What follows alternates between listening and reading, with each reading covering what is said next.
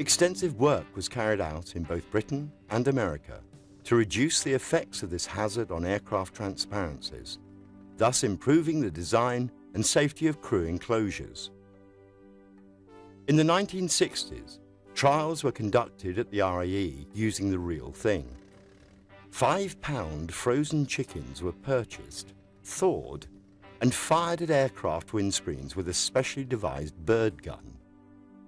Afterwards, it was usually the lowly apprentices who got the unpleasant job of hosing down the mess this work created.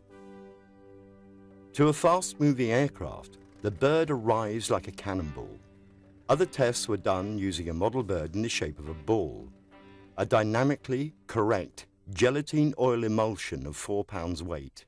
Its launching container being made of lightweight foam plastic.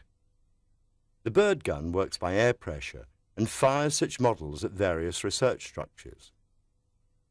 Here is a slow motion sequence filmed at 20,000 frames per second of just such a model bird striking a research target. Watch as it comes from the left and the container disintegrates as the round leaves the gun. Bird strike tests were also conducted on engine inlet structures using the same method. Perhaps the most complicated question associated with the problem of bird strike is the issue of large deflections. The deflection is that amount of movement in the structure which results from the bird impact.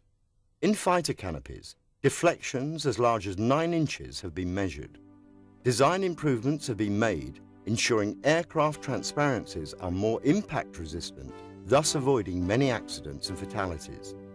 Bird strike trials continue on a regular basis as new aircraft are developed, but apparently British scientists now use pheasants instead of chickens.